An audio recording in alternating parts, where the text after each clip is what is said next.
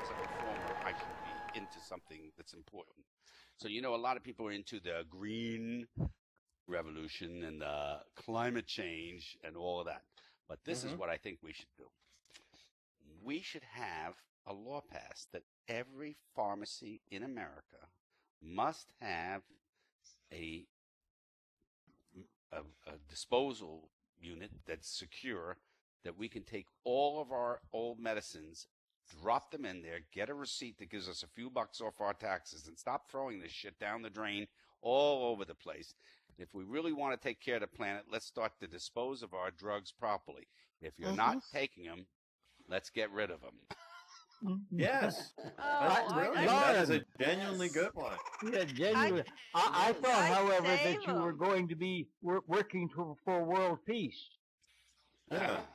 That's a hard I think this is You know, great. the, the all the, can you imagine? don't really, they don't spoil. They just get a little weaker. So you could like Yeah, but save them. Haley, so you're the in only mood person for that- them that- again. Right. You You're the only person that makes sure you dispose of all your drugs individually, you know, but a lot of other people have drugs left over.